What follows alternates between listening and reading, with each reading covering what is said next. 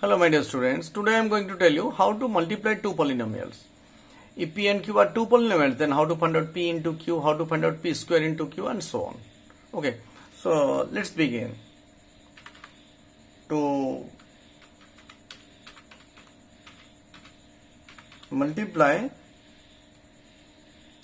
two polynomials.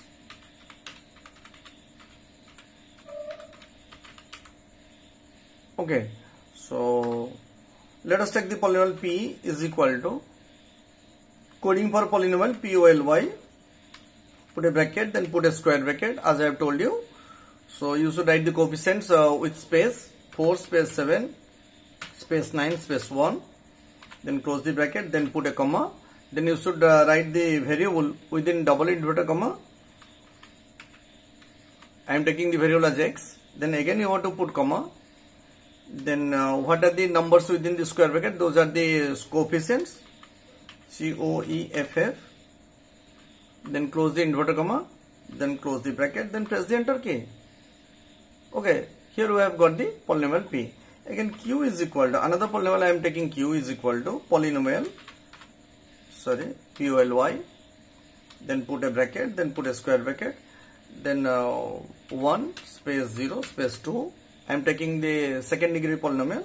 So close the bracket comma then uh, you should write the variable then comma then you should write the uh, coefficients.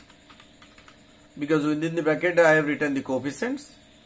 So close the inverted comma then close the bracket then press the enter key. Now you want to find out p into q.